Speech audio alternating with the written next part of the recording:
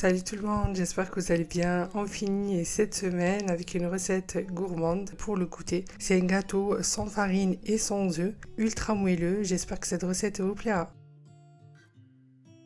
Pour les ingrédients, on aura besoin de deux bananes, ça fait 225 g, 75 g d'amandes en poudre, 95 g de purée de cacahuètes que vous pouvez remplacer avec de la purée d'amande, 30 g de sucre, mettez le sucrant de votre choix, de la vanille, quelques pépites de chocolat noir, un sachet de levure chimique sans gluten et une pincée de sel qui n'est pas optionnelle.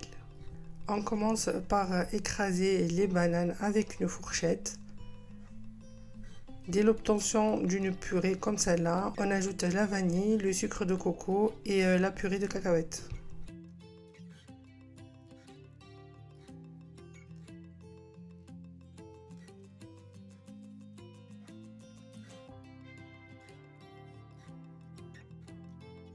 On mélange bien et on finit par ajouter euh, la poudre d'amande, la pincée de sel et la levure chimique sans gluten. On mélange une dernière fois.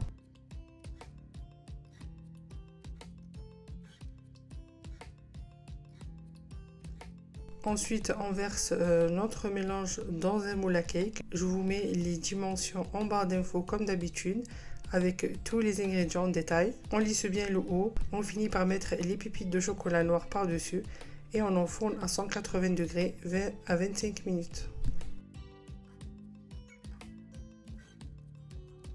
Je vous conseille de laisser le gâteau refroidir complètement avant de le découper. Et voilà la recette d'aujourd'hui, un gâteau facile pour le goûter, sans gluten, sans lactose, sans œufs et sans farine. J'espère que cette recette facile vous plaira. N'hésitez pas à liker, à vous abonner et à me suivre sur mon Instagram. Ciao ciao